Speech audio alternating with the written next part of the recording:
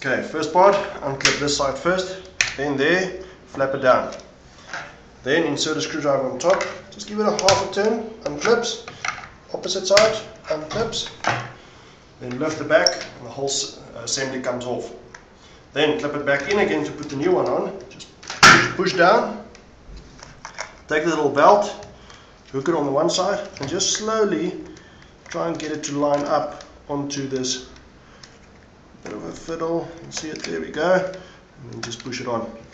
Clip this closed and you're good to go.